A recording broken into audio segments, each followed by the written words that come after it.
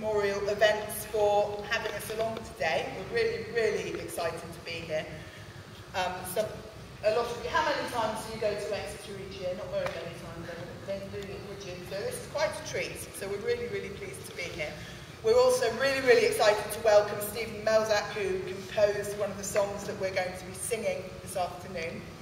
Um, we felt that this is possibly the most appropriate song for the Holocaust for children to sing that I've ever come across, and I looked through an awful lot of songs when I knew that we would be picking Holocaust music.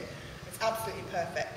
So this is the combined schools choir of Torbay. We've got children from five different schools in Torbay who they rehearse at school whilst they're at school, either at lunchtime,